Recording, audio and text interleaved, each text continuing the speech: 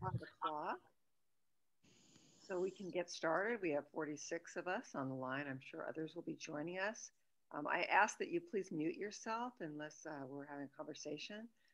Uh, and I want to welcome you all. I'm Marcy Winograd, and I am the coordinator, uh, volunteer with Code Pink Congress. Very proud to work with such a terrific team.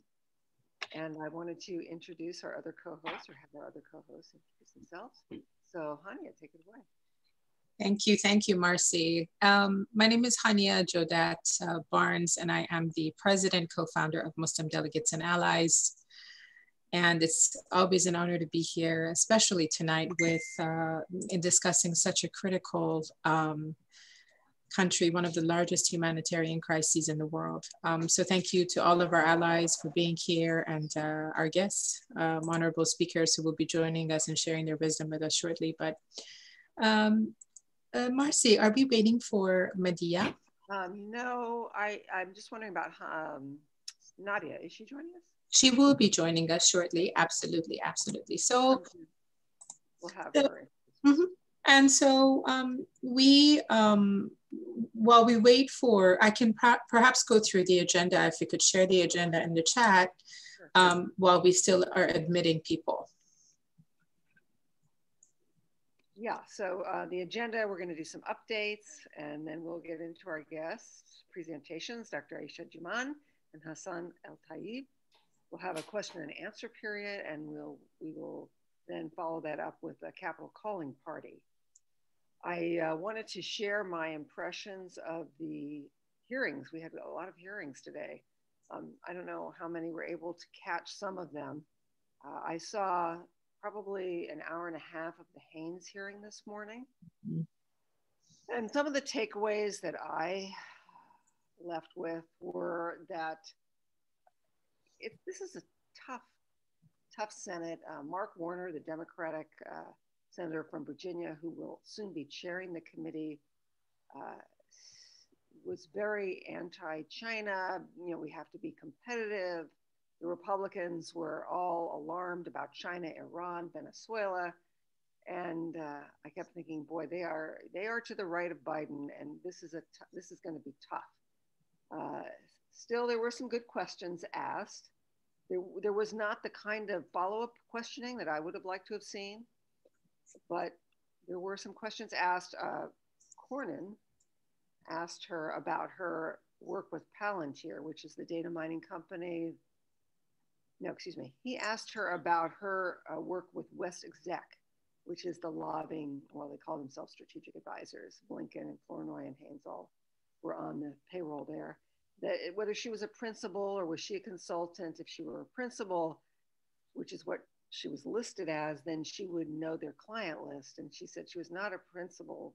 Technically, she just worked for them once a month and no much. Um, they asked her, had you ever worked for a, any company on the uh, banned list, you know, that, that was involved with the China, Chinese military industrial complex? She said no, she had done some advising for a private French company. Uh, Heinrich, the senator from New Mexico, asked her if she would agree with the conclusion of the committee that torture had been ineffective. And she skirted that and said she understood it was unlawful and that there were better techniques. Hmm. She did not say she agreed with that conclusion, which I thought was of concern. Uh, there was a question put to her about whistleblowers. Would you agree to share with the committee complaints filed by, for example, CIA whistleblowers? And she said she would agree to share credible complaints. I kind of was wondering about that. Uh, what else? Very hawkish committee overall, I thought. Uh, Ron Wyden asked her some questions about uh, the, the hacking of CIA computers uh, during the Senate torture investigation when the hmm. CIA agents hacked the computers and breached the firewall between the executive and the legislative branch. Are you Marcy? Marcy? Are you yeah. Marcy? Uh, yeah. I'm getting, I'm here reading a lot of chats. People are all asking you to turn up your volume, if you would, please. Oh, okay. Yeah, I, I don't know why this volume is low. Okay, I'm going to speak louder. Is that better? Much. Much better. Okay. Speak loud. So, uh, she was asked if she agreed that, well, she was asked for a response. It was open ended to uh, the hacking of the Senate computers uh, during the torture investigation. And she said she agreed with uh, Brennan, who I guess was the CIA director at the time. She agreed with his apology. There was no, there was never, I, I didn't see a question put to her point blank why did you overrule the inspector general and fail to discipline these hackers? Why did you redact the uh, re- report from 6,000 pages to 500? I, I, never heard those questions. I, I, didn't listen to the whole hearing. I had to go to work, but uh, I didn't hear that. So that was my takeaway. Uh, we have a very hawkish Senate Intelligence Committee, and so it will be our role to, to challenge their hawkishness. That's, that's what I came away with. Anyone else want to share impressions of the committee hearings? Just so everyone is aware, we do have about 86 participants on the call. If you could use the raise your hand uh, button, uh, that would be great if you have any questions. Oh, one, or like to share. One other thing that she said during the hearings, Haynes, uh, Ron Wyden asked if she would share the CIA report on the Khashoggi murder. Their conclusion, uh, would she would she share it? And she said she would. And he seemed elated at that. He said he'd been trying to get it from the Trump administration and had, had been stonewalled. but I didn't hear anyone ask if she would share the original 6,000 page torture report. I do see two hands up here. I do see Omer Abid and I also see uh, James Carpenter's hands. If you could uh, keep your comments to perhaps maybe less than 30 seconds, that would be great. Yeah, this is James Carpenter. Just want to know when will the hearings be concluded and does it have to be confirmed by the full Senate? So when should we stop when should we stop complaining about this nomination? I think we should continue until she is absolutely confirmed. I read in the um, online that they didn't think she would be confirmed tomorrow. Uh, it's clear she will be she will be approved by this committee. They made that very clear at the outset, and I uh, anticipate she will be approved by the full Senate. But I think we should continue until until she is. And I think even though uh, they intend to confirm her, that it's important that we raise these issues so they are always in the background. I was able to use some of the interview that we did with uh, John Kiriakou on Haynes, and I uh, tweeted that, and it's gotten about 10,000 views and was included in a report from Al Jazeera on the hearings. So it's out there.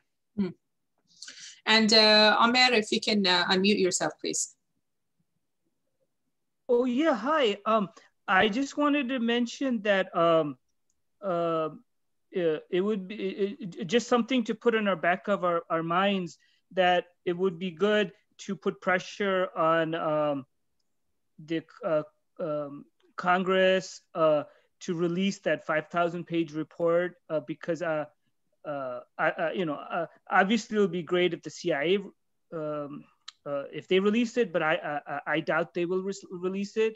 So it'd be nice if we just put in the back of our minds, you know, mm -hmm. while there's a Democratic administration to try to to try to to do that. I remember that there was something about that report. Um, like like like like like just like hardly any like I don't know just like like like a couple places or like one place has it.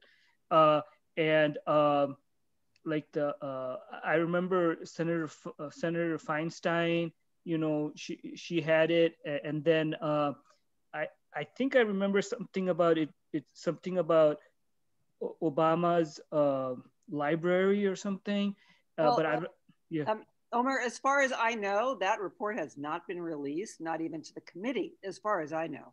Oh, you know, okay. Redacted. It was a, I think it was a 6,000 page report conducted over a five year period. And it was uh, instead redacted so that it was just a summary. Mm. So I don't, you know, it was a 500 page summary that was released. And that is available online. And if you email me, marcy at codepink.org, I'll be glad to send you that link. Well, Marcy, it does look like we do have uh, Sister Nadia here also on the call, who is also the co-founder and chairwoman of the uh, advisory board of Muslim delegates and allies. Sister Nadia, if you could please unmute yourself and say a few words, and then perhaps we could um, introduce our honorable guest. Well, thank you um, so much for everybody for joining us today with uh, Code Pink. I wanted to, um, to thank you on behalf of Muslim Delegates and Allies Coalition. I also wanted to, um, to thank the American Muslim Democratic Caucus um, and other uh, partner organizations for uh, providing constant support uh, for these efforts. I think it's really important um, that we really uh, spread the word of these events. Um, and so in the future, we'd really appreciate if you can bring at least three or four more people um, to this because this movement is really fueled by, by people and the people power that we have is what gives us the power. Absolutely, thank you. And I was just talking to a friend about this last night. Um, you know, by and large, our uh, population is not paying close attention to foreign policy, to legislation to demilitarize. So our voices can be that much more amplified because we are really filling in a void here. Absolutely, absolutely. And so, what a better um, you know topic to really lead to our um, conversation with uh, Dr. Jumaan, who's it's an absolute honor to be here in your in your presence. And I will hand this over to Nadia for the for the quick introduction. Um, so Nadia, please take it away. Okay, thank you um, so much, Hanieh. Um, so first, I wanted to um, to mention as well that just recently, um, Secretary of State Mike Pompeo had designated that um, that the Houthis um, as a foreign uh, terror group in a move that the United Nations uh, says is going to block aid and other um, and other um, aid and relief um, to help against the famine on a scale that has not been seen for over 40 years. Um, Yemenis are crowding into markets and shops to stockpile whatever they can afford, uh, and families are very terrified that there is no food or other supplies available. Um, and so we're going to have um, a, a, question and answer session. Um, and we're also going to host our Capitol Hill calling party to urge our representatives uh, to support the removal of Trump's designation um, of, of, this group in Yemen as terrorists and to restore US um, aid um, to, to Yemen. Um, and so first, I would like to introduce um, Dr. Aisha Jumaan, who is a Yemeni American epidemiologist and the president of the Yemen Relief and Reconstruction Foundation. It's really an honor to introduce her. Dr. Jumaan has over 30 years of experience in public health, including viral vaccine preventable diseases, cervical and breast cancer research, surveillance, maternal child health and nutrition, primary health care, and women in development. Um, and with firsthand knowledge of conditions on the ground, she's going to talk about the dire consequences of the US support for the Saudi UAE assault on Yemen. Dr. Jumaan. Uh, honored to be here and thank you very much to be uh, for the invitation uh, to speak about Yemen uh, because as Marcy said, uh, unfortunately, people who have a lot of money and power have been uh, siding with the Saudi on the aggression on the Yemeni people. So I'll talk a little bit about the humanitarian aspect of the war on Yemen. Uh, but before that, I always like to start uh, talking about Yemen in a different way. Um, I, I, like to talk about Sana'a city. Sana'a is the oldest continu continuously inhabited city in the world. It's a UNESCO heritage site. It's one of the most beautiful places uh, anybody can visit. So I want you to think of Yemen uh, also in terms of culture, history, and beauty. So um, going from there, I'll start talking about uh, the humanitarian crisis. All my resources are from the UN and from the US and UK sources. And the reason for that is I want to be as objective as possible because this is something that is very close to my heart I have family in Yemen. And so it's very challenging for me to talk about this uh, as an objective uh, person because I know of people who've been killed, maimed, uh, and died due to um, the aggression on, on Yemen. So based on UN reports, there are 24 million of the 30 people, million people who live in Yemen are in need of some assistance. Of these, 14 million people need assistance now. There are about 4 million people in Yemen who are internally displaced. A lot of the media attention that comes about wars comes from uh, people who are displaced or refugees. Because Yemen is under a blockade and all points of entry into Yemen are controlled by the Saudis and the UAE, Yemenis have no, no way of getting out of Yemen. So the displaced people, 4 million of them are in Yemen. Also, uh, because of the blockade and the destruction of the food sources, every food source in Yemen had been targeted by the Saudi airstrikes. Yemen is facing the largest humanitarian crisis in terms of food insecurity. There are 16.2 million people in Yemen who are at an emergency or higher level or food insecurity. And that is basically all of Yemen, except one state in Yemen that is uh, Hadramaut, where it is at the stress level. Basically, what that means, a lot of these people, if they don't get 25% who are in the emergency stage, if they don't get immediate assistance, they're going to die from hunger. So if we look at also of what, you know, the destruction of health services, 50% of Yemeni health services and health centers have been destroyed. In addition to that, there are also um, diversion of fuel that gets into Yemen into a Jeddah port. And some of the fuel ships stay there up to 256 days. And then Yemenis have to pay fines for holding these ships because they're not able to do business. So because of that, and the, again, the destruction of the health services, destruction of water services, destruction of electricity, we've also had a range of other infectious diseases that are spreading in Yemen. We have waterborne diseases that are affecting most of the people in the central uh, lands of Yemen. And we also have vector-borne diseases like dengue, for example, and chikungunya and malaria that affect most of the coastal areas of Yemen. And if we put these two together, we realize that almost all of Yemen is impacted by this. So I'll give you examples of that cholera, uh, which we have over 2 million cases of cholera in Yemen. In the 21st century, it's actually a shame on us as human beings and as, on humanity that we have an outbreak at this level and this magnitude, and we're not able to control it we, if we look at dengue fever as well, for example, this year in 2020, there were over 600,000 dengue fever cases in Yemen. This is horrific because Yemen has already all the four serotypes of dengue fever, which means any new cases uh, are going to be uh, more hem hemorrhagic in presentation and higher death is going to happen because of that. If we look at uh, severe acute respiratory infections, we are in the same uh, place as well where we have a large number of cases. Yemen has the largest fatality rate from COVID-19 at 30%. This uh, with a health system that has been uh, destroyed.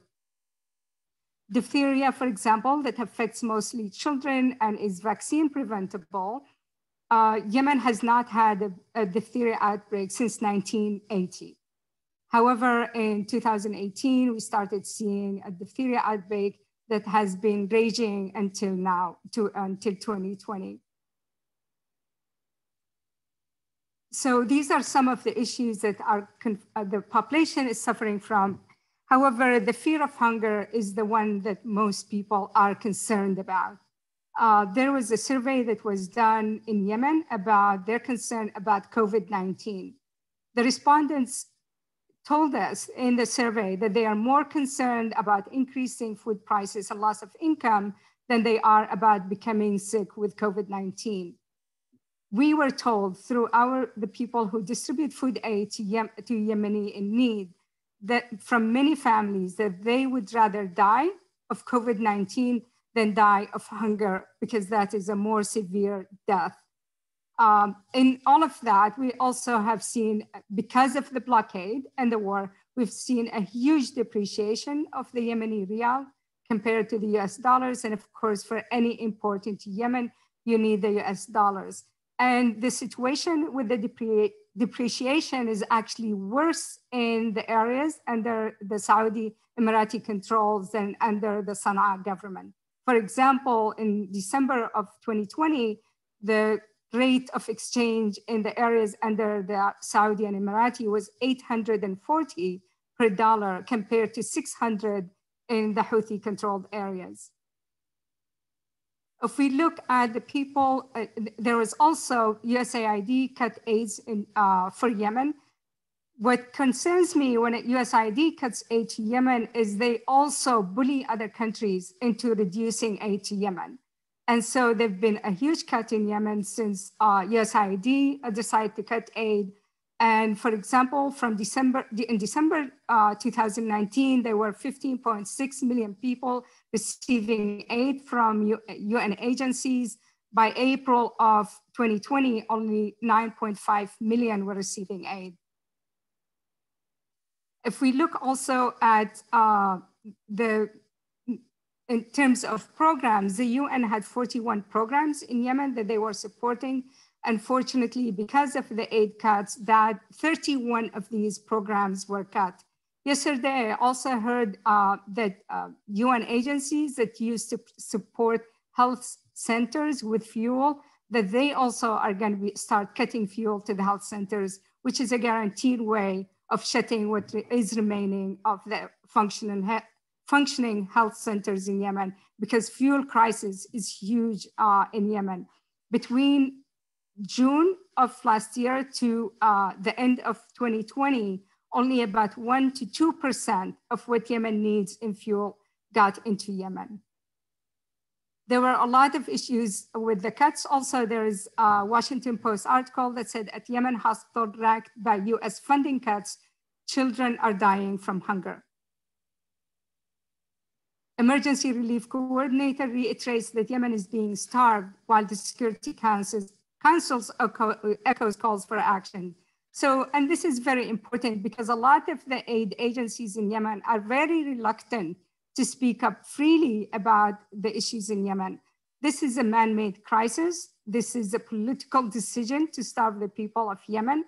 This is not a natural disaster that we could not see or, for, or foresee.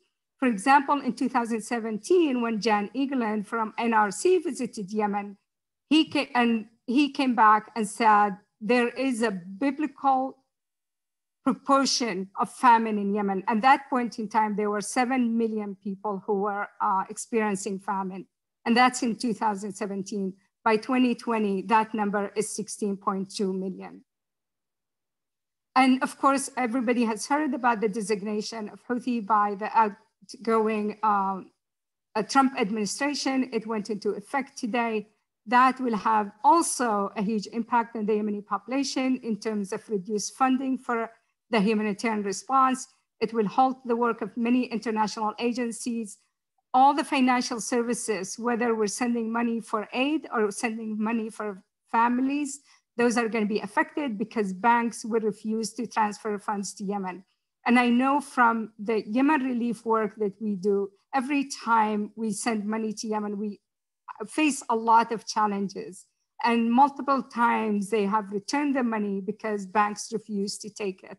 So um, right now we only have one route, and that is to transfer in euros through a bank in Germany. I'm not sure if we're going to be able to continue uh, to send money to Yemen for that. However, there were some licenses, so I'm grateful for those licenses, but that's not enough. We really need this to be reversed.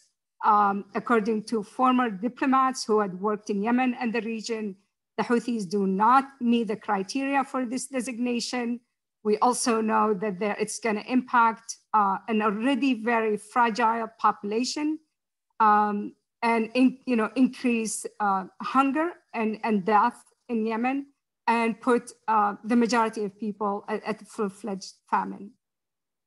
Uh, and, and, as you've heard, every agency that's working in Yemen uh, have come against this decision. I just want to read a few of them for, to you. Um, Refugee International called this reckless and destructive. Uh, Mercy Corps called this deeply concerned about the harmful effect. NRC called this will, will hamstring the ability of aid agencies to respond, counterproductive and dangerous Oxfam America, and pure diplomatic vandalism rescue organization. So I'll stop here um, and I hope to answer questions that you may have. Thank you. Well, um, something to, to really quickly point out, uh, Dr. Aisha, based upon what you were saying, um, according to UNICEF, uh, there's more than 24 billion people, which some 80% uh, make up some 80% of the population are now starving in this uh, crisis, and 12 million of those are children. Um, and hospitals are starving for gloves, let alone oxygen, right, during coronavirus. So, uh, Marcy. Great. Um, thank you so much, uh, Doctor. We're now going to go to our other guest, uh, Hassan El-Tayyab, who is the lobbyist with the Friends Committee on National Legislation. And we're so proud and uh, honored to have both of you with us. And if you can, uh, give, us, um, give us some background on this conflict, as well as what we can do going forward and the obstacles and, and the actions we can take. Thank you.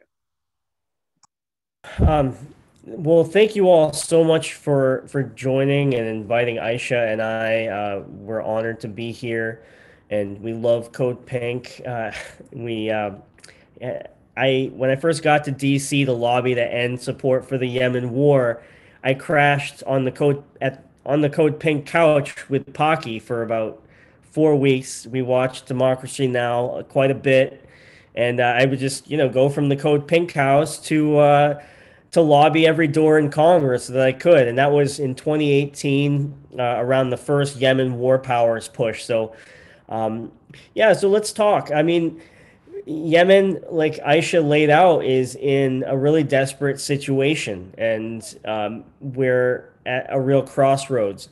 The there's a lot of bad stuff, but there's some good stuff that, I, and I want to kind of put it together and sort of figure out what we can do about it.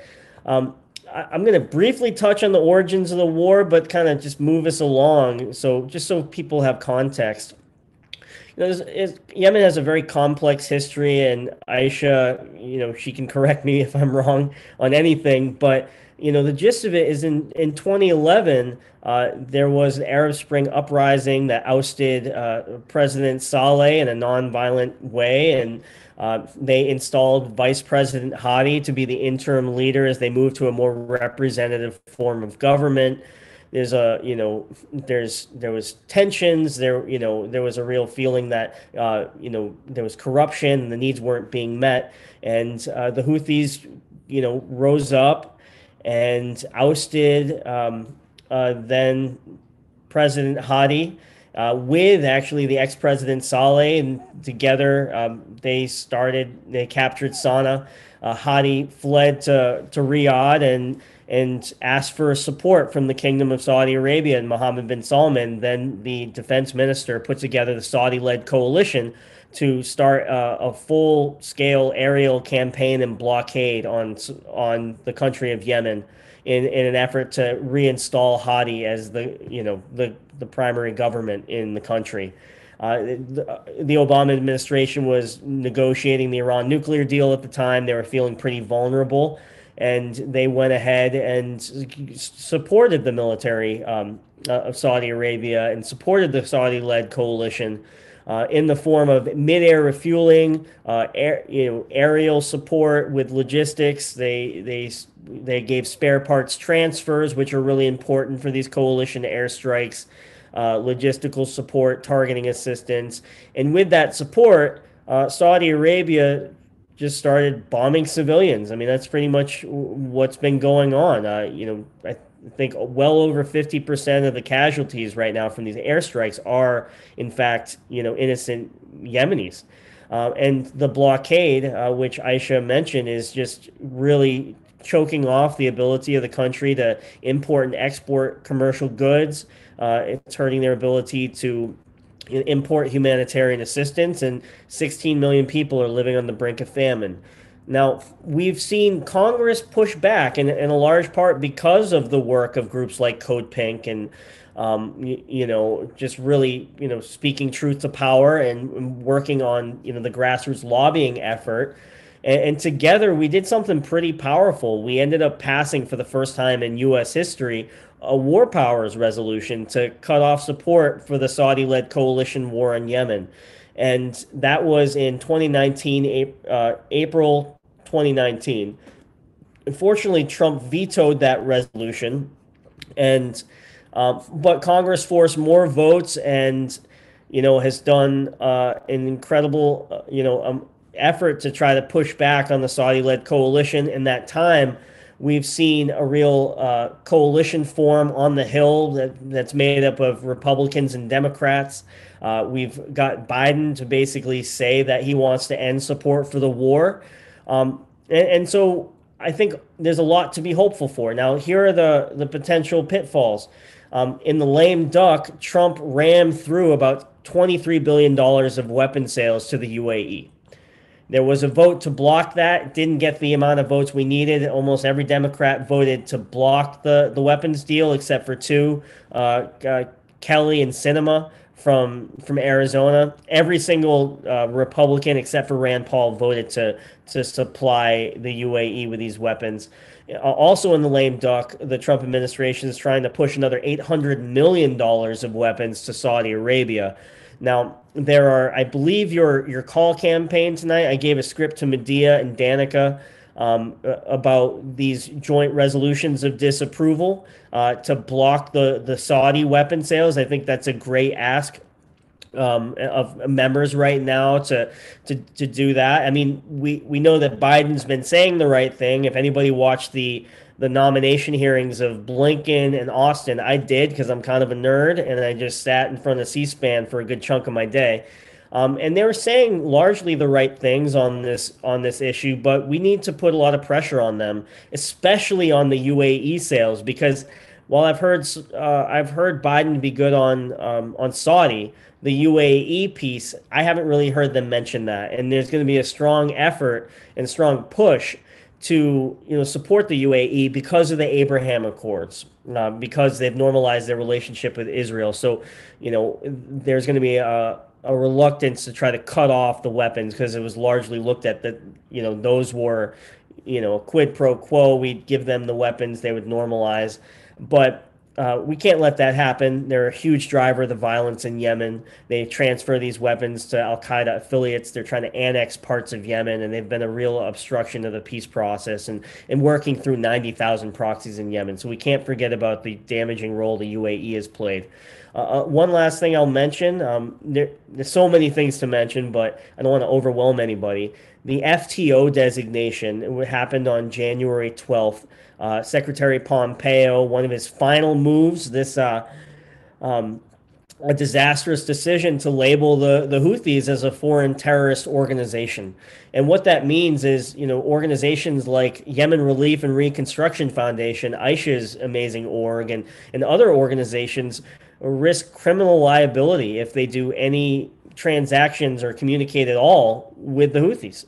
And they control, you know, they're governing territory with 80% of the population. This is, you know, unprecedented that they would try to do an FTO designation on a population that's this big. Uh, they're the de facto government, not just, a, you know, a ragtag group. Um, so I, I, think that's deeply problematic. Um, so the good thing is that members are speaking out uh, Chairman Meeks from the House Armed Services Committee. He took over for Engel after Engel got beat by Jamal Bowman. So now Democratic Representative uh, Rep Meeks, um, who is, uh, you know, a little better, not as good as Castro on, on, a lot of the issues, but uh, you know, is is pretty good on some some issues, especially Iran but he led a letter in the House calling for reversal of the FTO designation on you know early in the Biden administration. So that's positive. Uh, so that's good. We've had a few Republicans, including uh, Senator Young, who's issued a statement pushing back. Um, just so folks have it, I've been keeping track of everybody that has put out a statement. I'm just going to drop it in the chat, and if your member's not on there, they they you should give them a call. Another thing I'll drop in the chat is a letter that FCNL um, and Yemen Relief and Reconstruction Foundation uh, supported, calling on Biden to reverse on day one, because I think that's critical. Now, you know, on top of cutting off humanitarian aid, the FTO designation will also prevent uh, peace talks from actually happening. I mean, it's going to be very difficult for a special envoy to Yemen, Martin Griffiths, to be able to conduct any sort of dialogue between, you know, the Hadi government, the STC, the Houthis, Saudi Arabia, all the different partners, uh, all the different warring parties right now. So I think that's really critical um, that we reverse this. Uh, Jake Sullivan, Biden's national security advisor, has said he wants to reverse, so that's a good sign. But they need to be hearing from us. This is this has to be like a, not day one, hour one, minute one, second one. We need to, you know, this could be a disaster for millions of Yemenis, and it could put tip Yemen into a famine, as Mark Lowcock has warned and Aisha has spoke to. So, uh, I think those are great action items. Last thing I'll mention is Ro Khanna is considering introducing another Yemen War Powers resolution. Um, I don't know how I got the controls, but I've been admitting people to this talk. I, I, you know, I, I, hope they're cool. You're one of the co-hosts, Hassan. That's fine. okay, cool. I'm like, you know, let that guy in, let that guy in. You know, hopefully, I'm not letting in like, you know, uh, everyone's a family here, so all, all are welcome. That, that's how I feel. Uh, you know, unless uh, unless you're Secretary Pompeo, then you ain't you ain't part of my family. Is that too soon? Okay, soon to be ex-Secretary Pompeo. So, um, but yeah, Ro Khanna wants to introduce a Yemen war powers resolution, um, uh, and he he's saying that he will. Uh, to cut off U.S. support for the Saudi led coalition war in Yemen. We've already passed another version. We're trying to do it again. And I think it's so critical that we do this because we got to figure out how to not get into future wars. And strengthening the Yemen War Powers Resolution or the War Powers Act in 1973 is going to give us the tool to end unauthorized wars in the future. And if we get Biden to sign, he'll be the first president in history to sign a, a, a WPR. And that is just so powerful. One, for preventing future, um, you know, wars. And I also think it's going to help diplomacy on ending the Yemen war in particular, because it'll show the warring parties that it's not just Biden, but it's bipartisan uh, bicameral majorities in Congress that want to end the war. And that's a lot more leverage than just one person doing it with executive order. And we also have the added benefit that in four years, Trump 2.0 can't take it away from us. You know, it'll be a signed law. So that is why it's so important that we get uh, get this through. With that, I'll open it up to any questions and happy to happy to chat more. Thank you so much. And before I forget, um, how can, if both of you could put in the chat how people can reach you if they have further questions. Uh, Hanieh and Nadia are going to take the questions and stack. Sure. Absolutely. Um, there was a there was a very important question that came up because it is nowadays it's very hard to really uh, trust organizations. Um, but uh, Pat asks, which charity organizations are the most trusted for Yemen help? If you could um, guide us, uh, Dr. Um, Jumaan and, and, Hassan, that would be wonderful. Can, can, I speak on behalf of Aisha and her amazing work? Sure. Aisha leads one of the best humanitarian organizations I've ever seen in action. They work with Yemenis on the ground in Yemen.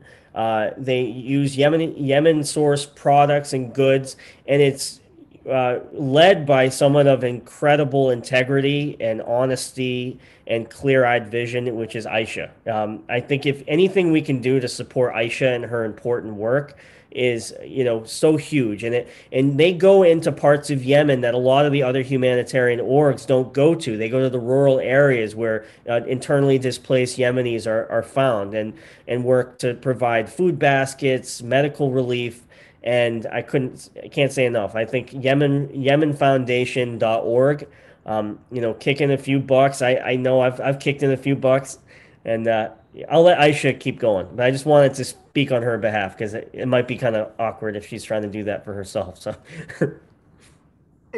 I'm grateful for the support. Thank you. We we do. Uh, we're a volunteer organization, both here and in Yemen, and we, as Hassan said, we work with people in the field. Uh, so and we work in inaccessible areas. A lot of people don't realize that Yemen has the highest mountains in the Middle East. Uh, so what that means, we have a lot of scattered population that live in very difficult areas. And because we work with individuals in these areas, it's very easy for us to reach the neediest uh, because it doesn't cost us uh, travel to these areas. We also don't need uh, security because a lot of the international agencies need security to travel within Yemen. And we don't need um, permits to be working in these areas because again, we're working with locals. Uh, they're all volunteers and we're also volunteers here. So we've been able to um, reach quite a lot of people with whatever we get. 100% of the donations go to support uh, people in need. Um, our next question, and thank you, Hassan, for um, I'm, I'm so impressed, I have to say, Hassan. You spoke so eloquently for a, a, couple of minutes. You admitted people to this this this Zoom call. That's a you know that's a talent. Uh, so thank you. Click and you know. that's a that's a huge talent. That's important duty as a co-host of this event. Apparently, well, I don't know miss out this is a this is normally a female-led uh, event, but hey, Hassan, we will welcome you to be one of our co-hosts for the future. So um, now, um, Sister Nadia, I did post the other question for you. Um, if you could if you could ask it, that'd be great. From Mike Levy.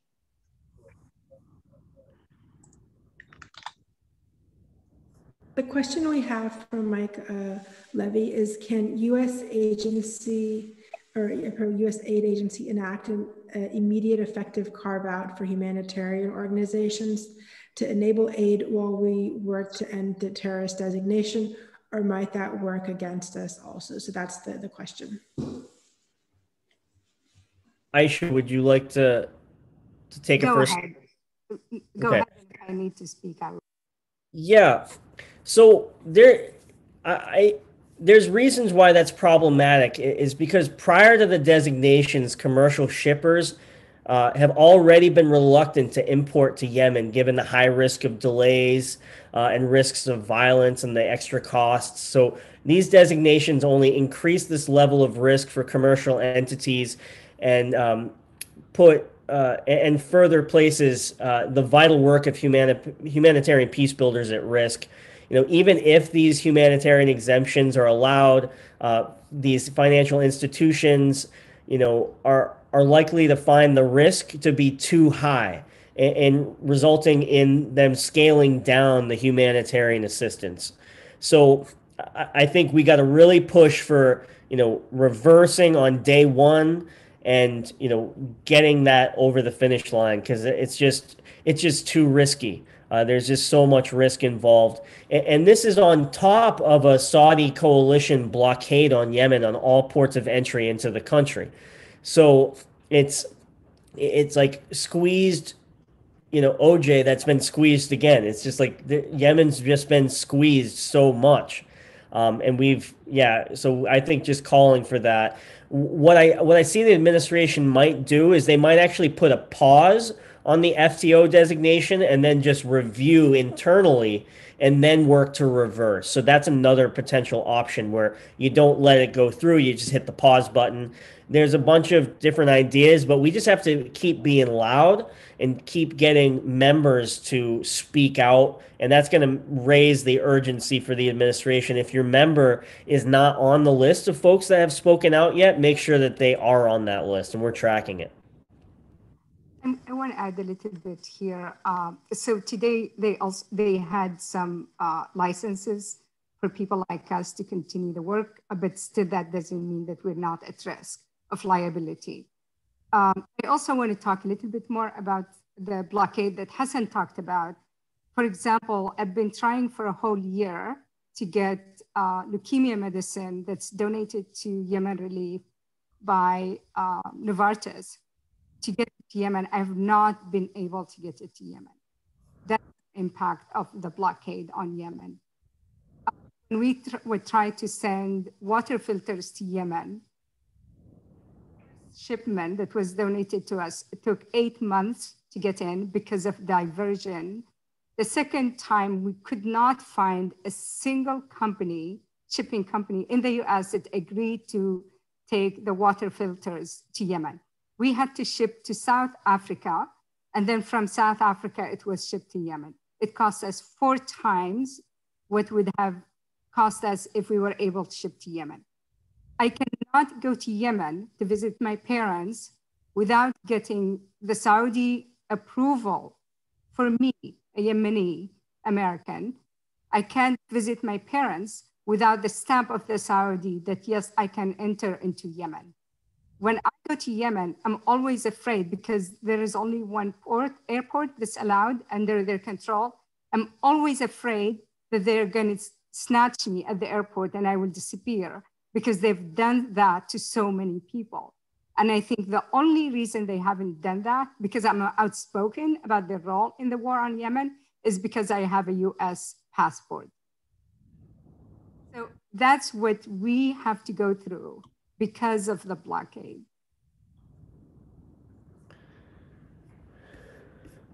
Marcy, um, your question is, is very critical, actually, and then we'll go to Mark's question. Um, thank you. Two things I wanted to say. I think it's important that we hold Haines's feet to the fire and ensure that she releases that report on the CIA investigation into the Khashoggi murder. I think that will help with political will to uh, cut off these weapons sales to Saudi Arabia.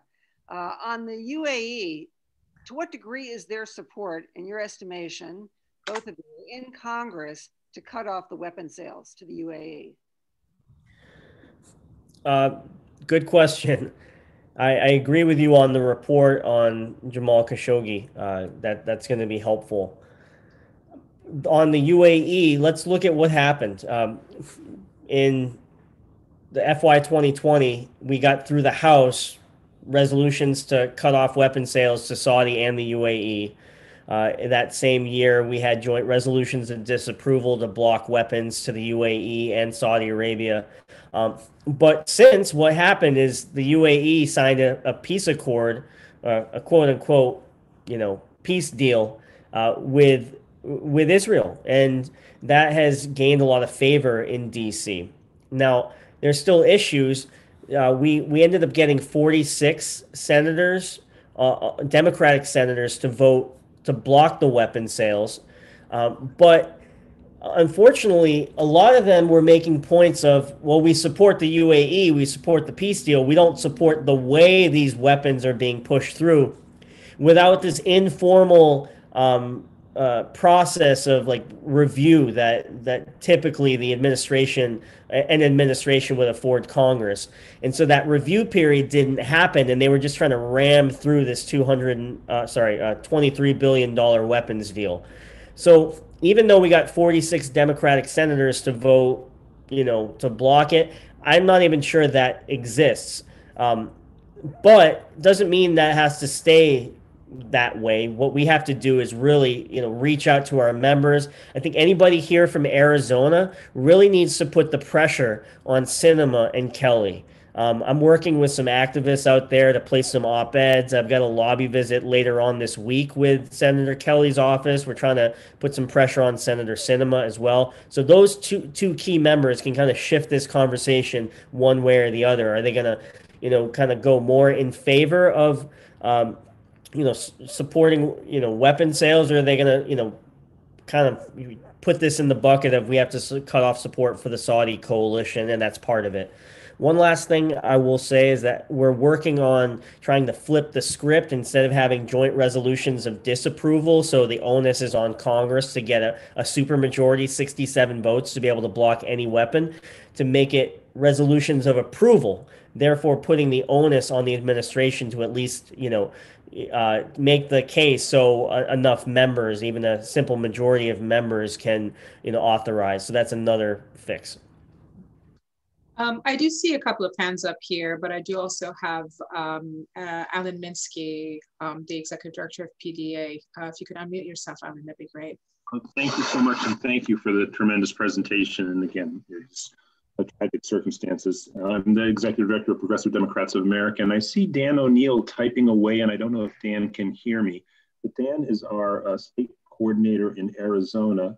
I suppose somewhat to our um, uh, shame at the moment. Um, there we go. He just wrote in the in the uh, chat. Um, if there's any one state in the country that is the most outstanding state within Progressive Democrats of America right now, the gold standard is Arizona. And we've got great connections across Arizona, and we're available to work with you for both senders. Uh, a little bit to our shame, um, uh, Kyrsten Sinema was once on the advisory board of PDA Arizona. Her politics have moved, been moving very far to the right. That was back before they started moving to the right. So we actually have some personal relations with Sinema, and uh, I think less so with Kelly. Um, but uh, Dan, if you want to give a thumbs up, um, it would be really great if uh, we can help you out on that, Hassan. Absolutely. Anything that we can do here in Arizona, we will be putting as much pressure on Kelly and Sinema as possible. We're doing it anyway on about six or seven other fronts. So they're they're on the top of our list. So we'll add this to it. So Hassan, just send me, I just put a little note, send me some talking points and whatever uh, we yeah. can do, we will do. Okay. Uh, Dan, that's, that's terrific. Um, I suggest you primary them. well, we're, we're trying to get Marcy Winograd to move from California to Arizona so we can do that. Okay. Uh, and you asked for talking points. I dropped in an NGO letter that FCNL signed. Um, on this UAE weapon sale, talking about all the things that the UAE are doing uh, in Yemen that makes it so we shouldn't be selling weapons to them anymore. About the transfers and all that, and and you can basically, you know. I think there's a way that they can kind of correct the record a bit here uh, by supporting the Yemen war powers, by being better in the future. So you know, uh, definitely use the points in that letter and urge that they become co-sponsors of the of the new Yemen War Powers resolution that we were going to see coming up soon. Can you, Hassan? Can you send that to me? I'm going to put my email in, in, the chat. Okay. Yeah, I mean, I did put the letter already in the chat. So oh, okay. Thank you. Thank you, Dan. Uh, Sister Nadia, go ahead yes, with the. Um, so the next question we have um, is about um, CBC. Um, the question was uh, from Mark, and what he wanted to hear if anyone knows um, uh, or how Representative uh, Beatty's uh, stance uh, on on Yemen. One, one thing we got going for us is that every single Democrat eh, has already voted to end support for the Yemen war, and it's primarily, you know, the makeup of the Congressional Black Caucus. Um, we, we have more work to do. I, I, think getting Rep Meeks to you know to continue to be good and to keep forcing the question, but I, I am uh, you know I'm not really worried uh, with the CBC on this on this issue. Um, we do have a couple more questions, but we are uh, coming closer to six and we don't want to miss out on the call to action. So I'll let uh, uh, Sister Rima and Brother Omer um, ask their questions. We will have room for two more written questions that have come up and we will go to call to action. So with Marcy's permission, that is. Uh, I will yield to the call of action because I think it's more important. Thank you. I, I just wanted to make the comment that I don't see any of the California delegation on that letter. You know, I got California in my heart. I uh, I lived there for a long time. I was born in Sacramento and lived in the Bay Area, um, but I live in DC now, so I guess that doesn't count. Brother Abid, um, thirty seconds or less for your question, please. Oh, oh yeah. Uh, uh, regarding the call to action, um, uh, is, is, there any way, or is it too late to put in something really quickly about ca calling for an immediate reversal of that? Foreign uh, terrorist organization or to or to put in a, uh, immediate reversal or immediate pause if, if it's strategic to put that in if it's easier for the uh, biden administration um, to do that. And then to also just mention the point that you know the whole thing about giving waivers and licenses uh, this, this is obviously needed but it still will prevent, you know, like you said, the banks of uh, make they'll make them more hesitant and and make them scale down stuff, and also it'll prevent, you know, fa- remun- remuner, re- financial remuner whatever that word is remunerations. When people uh, send money to their relatives and family uh, we, you know it, it won't it, it, will block that and block other economic um, things. So i was just wondering yeah. Marcy i don't see a reason yeah, why we can uh, we can certainly add that Hassan, it should be a pause or reversal that we're asking our own senators to support? So yeah, that's a good question. I think it's it's fine to add that. We were just trying to make it simple and you know just have the HJ Res 15 and HJ Res um, uh, 16 when when I wrote this this call to action. I think calling on your member to make a public statement urging Biden to reverse on day one should be uh, should be the ask. Terrific. Well, at that, I think that we should move into our Capitol calling party. And I want to thank you, Hassan. Thank you, Dr. Jumaan, for joining us tonight. It's been illuminating and motivating. And I've already tweeted to uh, Joe Biden and Antony Blinken, my good friends, uh, to please reverse this designation on day one, hour one, and uh, release the aid. So uh, I think you both, I believe you both uh, posted, if not in the chat, please do so, how people can get in touch with you. And again, thank you so much. And now we're going to move into our Capitol calling party. We have 102 people on the line or on the on this Zoom, and I urge you to stay with us. Um, let's go over the the action alert together. And people had mentioned, can we add to it? Absolutely. I think first, let's go ahead and do with what uh, do what Hassan suggested. Uh, call the Capitol switchboard. Ask for your own Congress member's office and leave a message asking them to co-sponsor and vote in favor of HJ Res 15 and HJ Res 16 to stop. Just lost my chat. Hanieh, maybe you could, oh, there we go. okay, uh, there's the script. I mean, it's a long script for a phone call, but you can, you can certainly use the first paragraph. And then after that, to email this paragraph or th these few paragraphs to your Congress member. Once you do that, please call your two state senators using the Capitol Hill switchboard to uh, urge them to oppose the FTO designation so that aid can be released. How's that sound? Great. Great? Yeah. All right, go. Can you move that up so I can take a picture of it, please? Well, my suggestion, Marcy, would be to perhaps keep this uh, on the screen, the sure. script screen so everyone can, now. but is that the whole script that ends? A little bit higher. So if you can start it, well. I think maybe shrink it a little bit, like make the size font smaller or this, the display. And somebody say, please, what FTO stands for? Foreign Terrorist uh, Organization. That's what Pompeo has termed the Houthis in Yemen which means that aid it will be completely blocked and it's uh, could you move it up? We still can't see it. All i can see is the first paragraph. You know, even just those two paragraphs that's enough. You got it. I'm going to mute oh, myself and start calling. Uh, marcy could you could you add that thing in about the uh, fto at the bottom?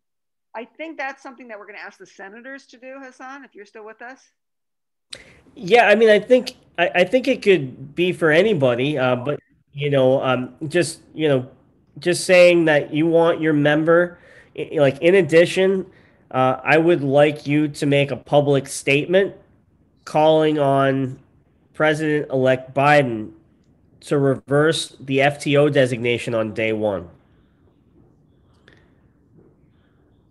What we're saying is whoever has access to this Google document is add that in there. So we don't have to remember it or think twice about it. Yeah, that, that's what that's why I was repeating it in case someone wanted to jot that down. And I'm happy to repeat that if folks need me to. Yeah, Hassan, if you repeat that, what I will do is write it down and then we can perhaps put that in a Google document as mm-hmm. an, oh, well, actually, Marcy, I see, is that your, who's editing the uh, document? It's me. Oh, great. Okay. So Hassan, should we repeat that one more time, please? Okay. Um, uh, I urge Congressman Blank to make a public statement calling on President Biden to reverse the FTO designation on day one. It has to be clearer than that. It has to be the FTO designation on the Houthis. Sure. I mean, I thought that was implied because we're talking about Yemen through the whole rest of the script, but uh, feel free to put the Count on them to know. Is it a congressperson or senator? I thought you said senator. Your calling would be, it, it, it applies to both. Whoever you're calling, you can just change the congressman from congressman to senator and vice But the reversal must be done by the president. Is that correct? Or the Secretary of State or Congress, as far as I understand. Yeah, you could say, you know, calling on the, Biden administration to reverse the FTO designation on the Houthis uh, day one. Uh, but I, I think it's, you know, I think that's that's pretty good here.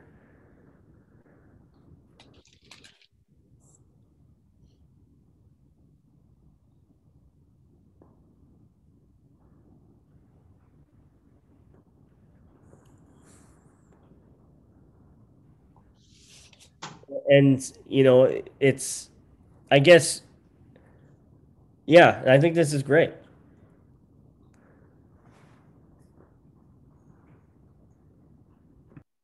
So the, the we really should call the representatives because HR 15 and 16 is a House bill, right?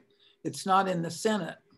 yeah that's that's right so if you're calling your rep oh go sorry go ahead yeah if you're calling your rep i think this is the Probably doing it already by now, uh, calling or emailing. I'm emailing your House rep, asking them to co-sponsor this legislation, and then to publicly urge Biden and Blinken to immediately remove that FTO designation.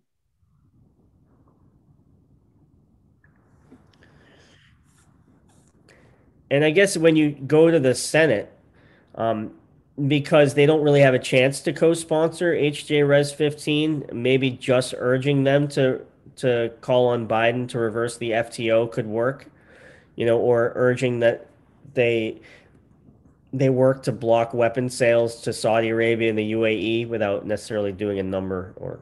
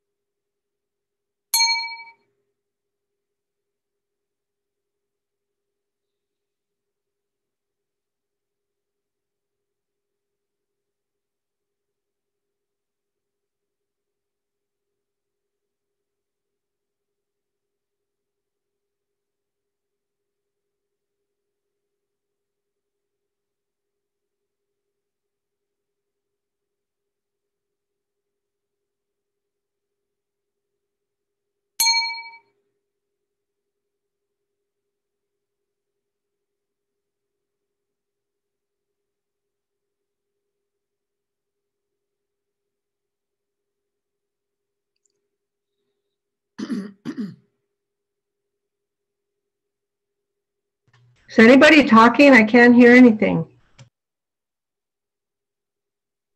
We're not talking because we're calling and we're writing. And people are on mute. Sorry.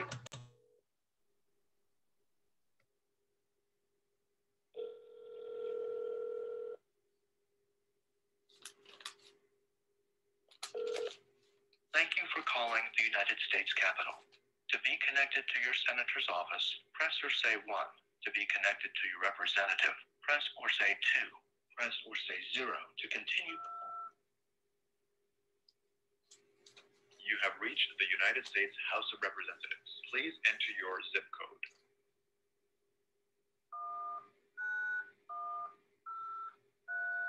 You have entered 19103. If this is correct, press or say 1. If not, press or say 1 for. Please put yourself on mute. Everybody should be on mute. Thank you. Could you please repeat those digits?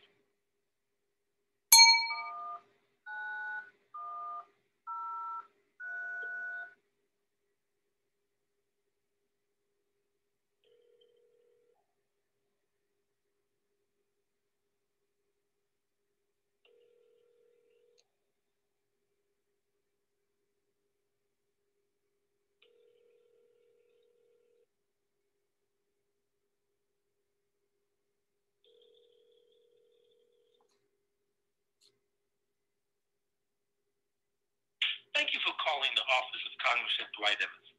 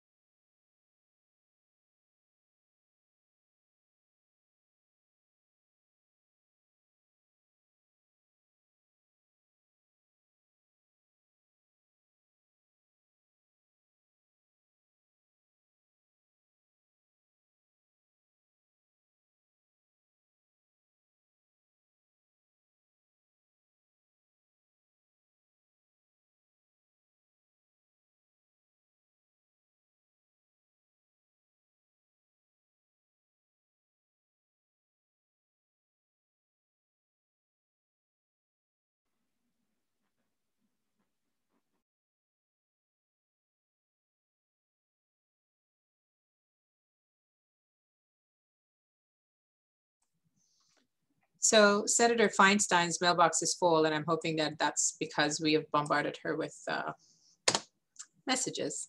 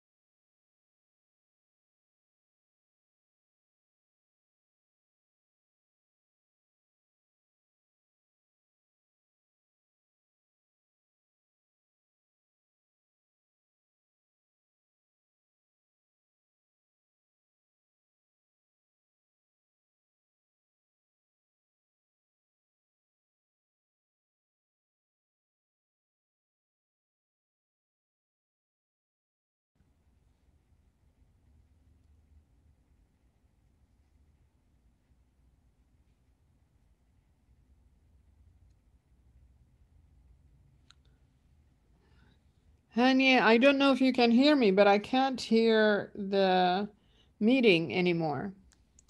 Um, that's a good thing, actually, Rima. I can hear you. I think everyone's really busy making calls. Oh, Um, got it. No, yeah. I can't hear you. No, I can. Great.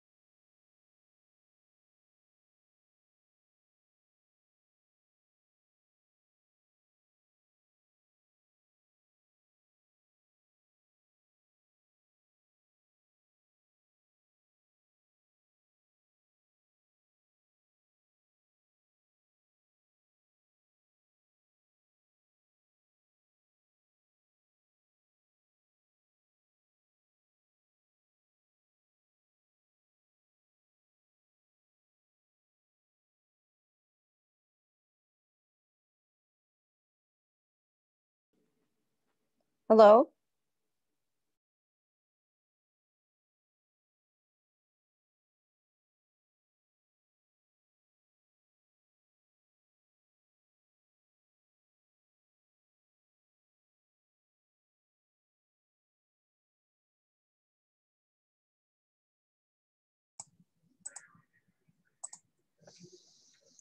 Yes.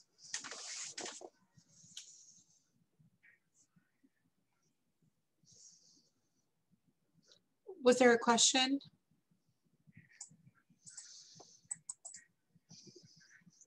Yes. Okay, what is your question? Was there a question? I think maybe at this point, um, we could just move into the chat. How are people doing? Is that, has everybody been able to make calls or at least send an email? Was there a question? Hear me? Hello? We can hear you. Oh, okay. I just wanted to ask you, um, is there a way you could either post the letter on the website or else in the chat because I can't enlarge it enough. I mean, I know I can um, speak to the issue fine, but uh, if we're supposed to use the letter for some kind of template, uh, it's really small and it can't be enlarged on the screen. I've got the Zoom opened as wide as I can. So I'm just asking if that's a possibility. Maybe you can move it into the chat. Yeah, she's doing that right now. I was going to say if um, if you're not on our Google group in our Google group and you'd like to be because I can Hi Daryl. Hi, how you doing? I Uh, spoke please to Samantha. Yes. Ruth. and Ruth. she knows I got uh, clarification on some information. Uh, the agreements are just about finished, but what is her, her title?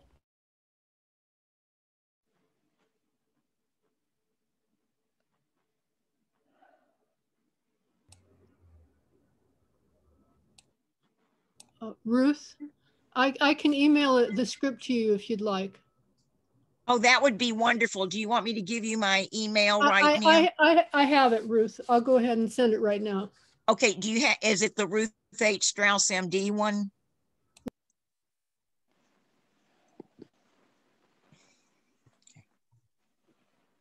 Marcy, you're Did- mute. did- We do have a Google. Ruth, did you get the la, the last one when I, I've got one that pops up whenever I put your name in. Let me just check. Um, Mila, I was just going to say that we have this Google group. A number of you are already in it. Um, and I can send this letter out over the Google group as the action that we took tonight. Uh, if you are not in the Google group and you would like to be, just email me, Marcy, M A R C Y, at codepink.org. Right now, we have the Google group on moderation, which means that I have to approve everything that goes out because we had a lot of traffic going back and forth. It was like, you know, not necessarily relevant to everybody. And uh, we didn't want to, we didn't want to annoy people. Uh, we want to streamline things. So uh, if you want to join, we would love to have you on board. You know, we've been doing this for about 20 minutes. I think most of us have at least made a phone call or sent an email. And I really, I want to thank all of you who stayed. How many, how many are still with us? Can you see? I can't see on my. Yeah, we actually have about 33 participants, including our Great. honorable speaker, uh, Dr. Uh, Jumaan. So Terrific. So uh, what we'll do right now is we'll say good night. And again, I'll send this letter out over the over the Google group uh, so that everybody can have it. Please share it with friends, get others to follow up as well. And next week, we will be discussing Iran. Yes, I'm excited about Anything else you want to say, Hanieh or Nadia? No, I'm just, I, I'm very excited about our next uh, call and I invite everyone to please participate. At least bring a couple of people with you on these calls and get as many organizations involved. These are calls that we uh, y- put together to, to plan a, a call of action around. So they're impactful, they're powerful, and they truly make a change. So we would love to see you all. And Sister Nadia,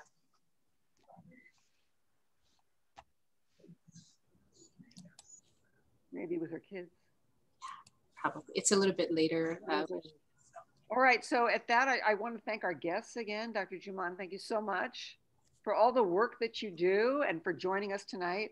And uh, thank Hassan. I want to thank Hassan. Uh, it was excellent to hear uh, his assessment of Congress and where, where we're at, what we need to do. And again, appreciate all of your participation and hope to see you next Tuesday night. Same time, same Zoom link. Okay. Thank Good you. night. Thank you all very much. And if you want to save the chat, just click on the box at the lower end of your chat box. This phone does not dots. take Click on unidentified that and calls. click on Save chat. So we'll stay a little bit for people who have a, a hard time saving it. We'll, we'll, we'll stick around for a few That minutes. way I can enjoy Sheila's cat. Aw.